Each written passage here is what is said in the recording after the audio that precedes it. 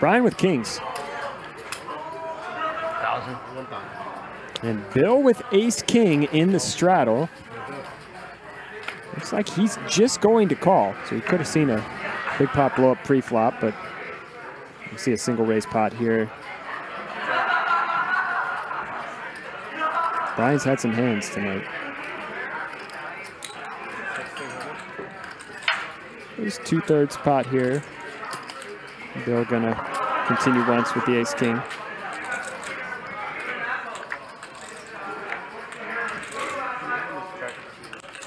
Five on the turn.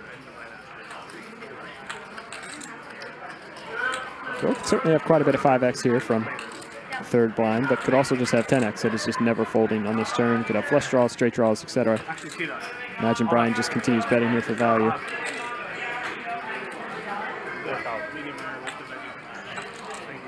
Brian, two thirds again.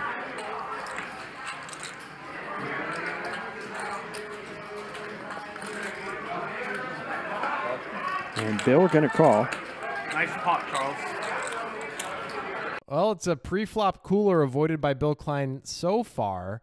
Um, but on the turn, it's possible he doesn't need to be putting this money in. Let's talk about that. But first, let's talk about Brian's line so far because he's chosen some pretty big sizing post flop. What do you make of it? Well, the board is not his so much. This 10 5 4 2 heart board on the flop, that hits a lot of Bill's range, and Bill's calling a lot. So the worse the board is for you, the more you want to bet if you're going to bet.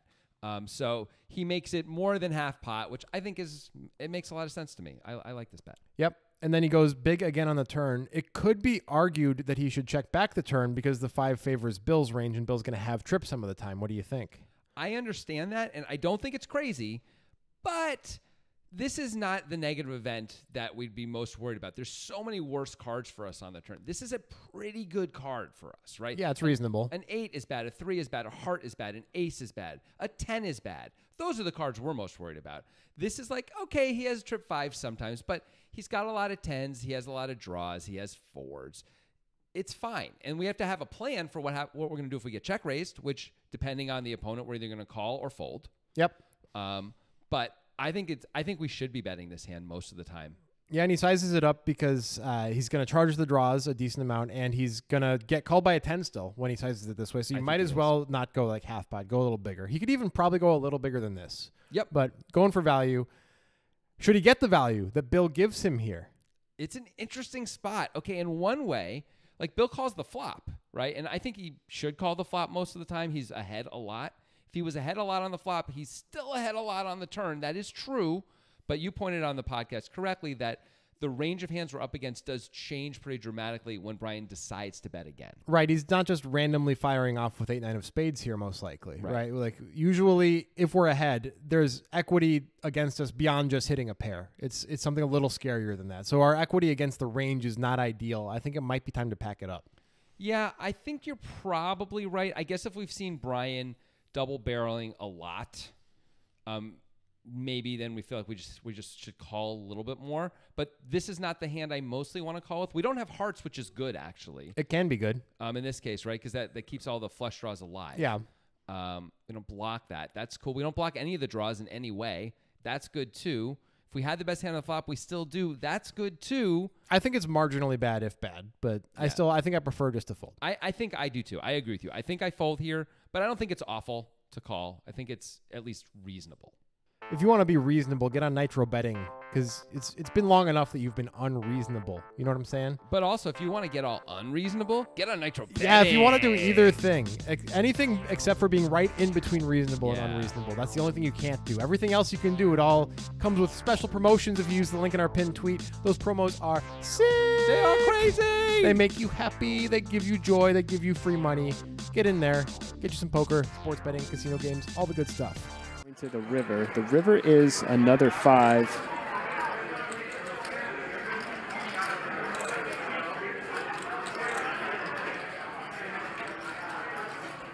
And if Bill thought his ace king high was a bluff catcher before, no need to do anything here but check. Beating the flush draws, beating the straight draws. It seems like he's got other ideas. He's going to lead. Lead for pot here on the river.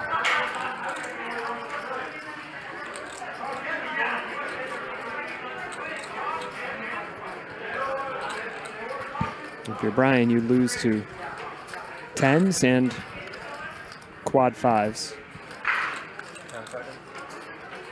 Four of a kind. I would think that trip fives would raise off the turn at some frequency. And tens would three bet.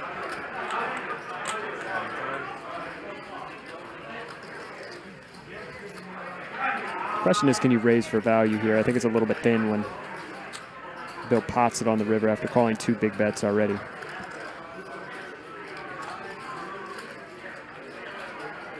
You really targeting? 10x maybe? Maybe 10x calls. Bri- looks like Brian is going to raise here.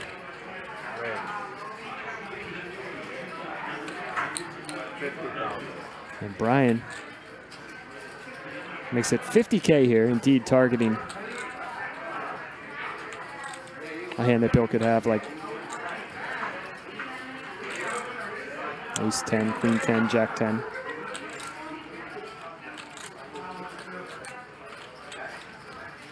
Ten seconds.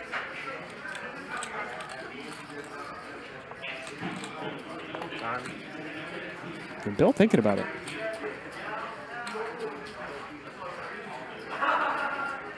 He is thinking about it.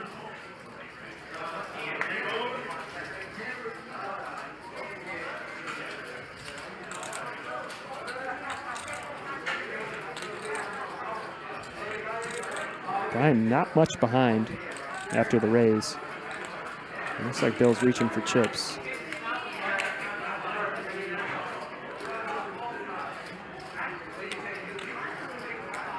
And look at this. Bill is going to three bet. This is so strong.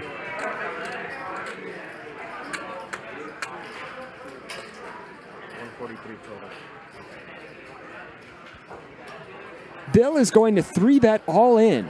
So he called a big bet on the flop, called a two thirds pot size bet on the turn, donked for pot on the river. Brian raises 4x, and now Bill bet three bets all in. And if you're Brian, you gotta hate this spot. How is Bill ever bluffing? How is he bluffing?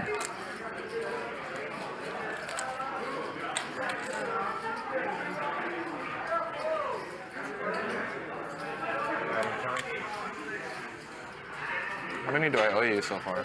I already took that one.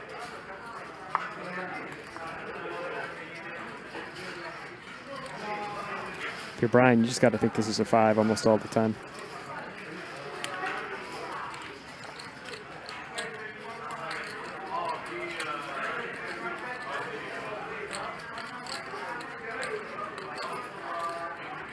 What a bluff from Bill. This would be a really uh,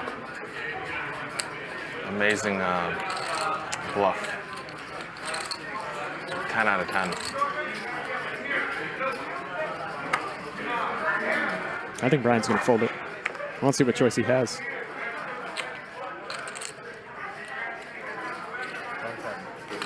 I'm uh, probably gonna fold.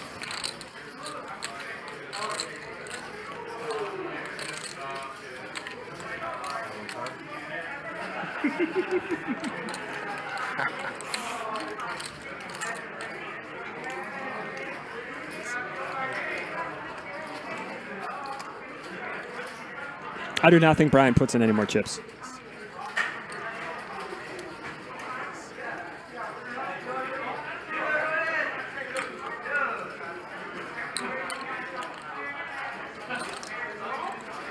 Eighty more?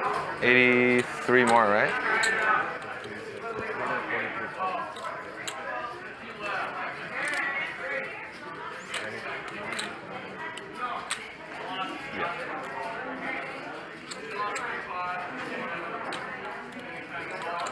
Are we playing same game? I don't know, but I'm having. Only thing you're thinking if you are Brian here is Whenever there's big cards, okay. would Bill raise off his trip fives on the turn on a wet board? I fold only because I have no more money. He does fold. Ah, and Bill shows him the bluff. Oh baby, the rich get richer, or I guess in poker chip terms, but we know Bill Klein gives away his profits, so he doesn't Oh. actually get Maybe richer. he gives it to very rich people though. Oh, okay. Then, So yeah. the rich the charity of, of Elon Musk and Bill Gates. Yeah. They need more money. Um, anyway, how did this happen? Let's go back, starting with the first action. Bill's pot size lead.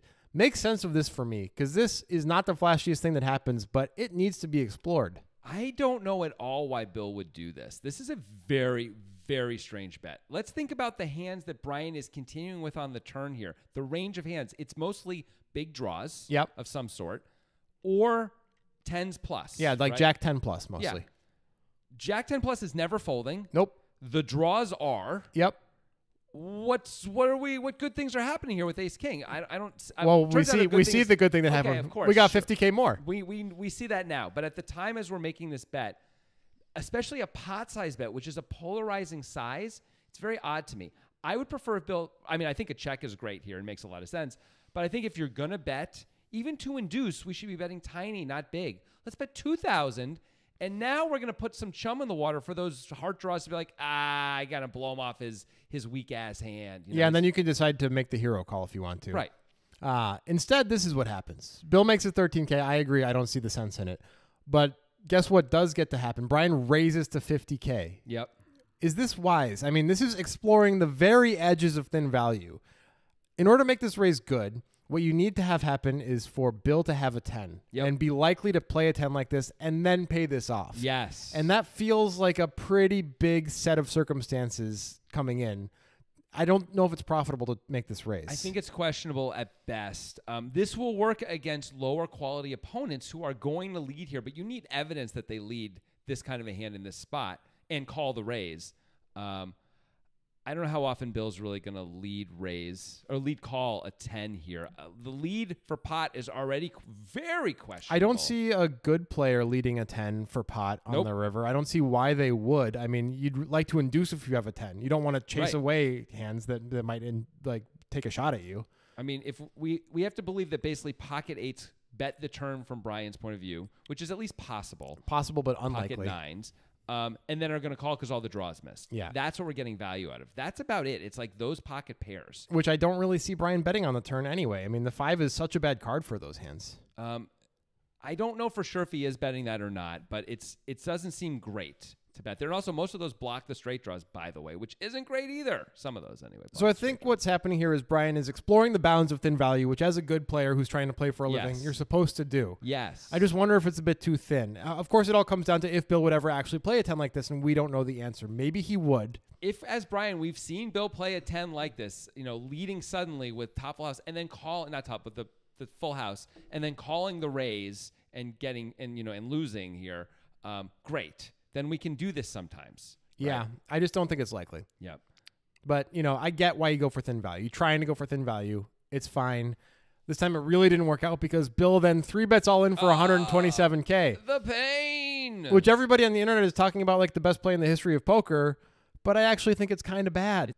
Doesn't Brian have some fives, bro? I mean, doesn't he have a lot of fives when he has value? I mean, I guess he has some bluffs when we get him off of those, but guess what? We win against the bluffs with Ace King. We can call if we think he has bluffs. Yep.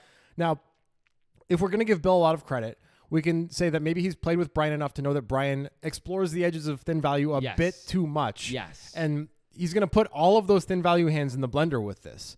The problem is that Brian opened from the cutoff and can definitely have a five and has done nothing up to this point to indicate that he does not have a five. Yeah, to be clear, like ace five suited, five six suited, five seven suited.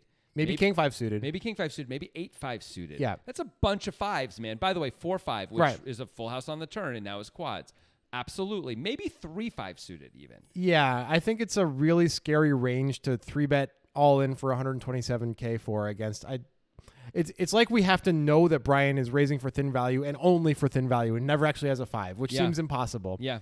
So I can give Bill enough credit to say maybe he's seen Brian raise for thin value in spots like this before. That doesn't mean this is a good spot to attack that. Here's the crazy thing. When we were talking about this on our podcast, we were discussing what other hands could Brian raise for value. And one of us said, like, well, obviously 10's full. And then we actually started to talk about it. We're like, but then you block a 10, Yeah. Bill even having a 10. So what are you supposed to get called by now? There's one 10 left in the deck. There's one 5 left, left in the deck. So it's like 50 50, and we don't know for sure he's calling with the 10. We're always getting raised by the 5. I mean, what are we doing here? Like, Yeah. maybe you can't even raise 10s full profitably Maybe not. which sounds crazy, but Bill bet pot. Yep.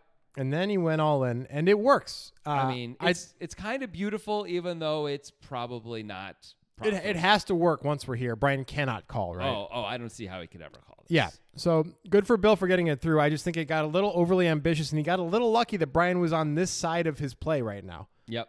Woo wee! What a hand that turned out to be. We thought pretty much all the river decisions were questionable at best and maybe just not good. So let us know what you guys think about this. Do you agree with us? Do you think like Bill shouldn't be leading pot on the river, Brian shouldn't be raising, and Bill certainly shouldn't be shoving? Um, also, we just assumed Brian folding was was normal and obvious, but maybe you disagree with that too. Just weigh in. Let us know. Weigh in on Discord also. There's a link in the description. We'll see you there.